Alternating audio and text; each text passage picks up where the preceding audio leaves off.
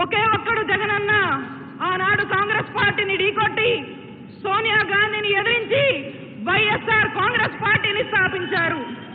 ఆ రోజు పార్టీ పెట్టినప్పుడు తమ వెంట ఎవరూ లేకపోయినా జగనన్న వెనకడుగు వెయ్యలేదు ఎందుకంటే తన సత్తా ఏంటో తనకి తెలుసు.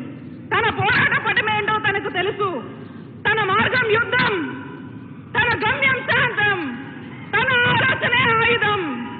అందుకే అందుకే ఒక ఎమ్మెల్యే ఒక ఎంపీతో ప్రారంభమైన మన పార్టీని ఈరోజు నూట యాభై ఒక్క మంది ఎమ్మెల్యేలు ఇరవై రెండు మంది ఎంపీలను గెలిపించే స్థాయికి తీసుకొచ్చారు జగనన్న. సాధారణంగా గుడ్ లీడర్ అని ఎవరిని అంటారు?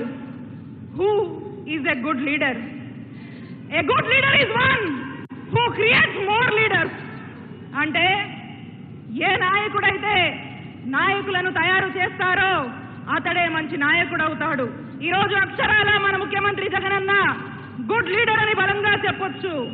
ఎందుకంటే పార్టీ పెట్టిన నాటి నుంచి ఈ రోజు వరకు జగనన్న గొప్ప నాయకుడుగా ఎదగడమే కాదు ఈ రోజు ఎంతో మంది నాయకుల్ని తయారు చేశారు. That is Jaganmohan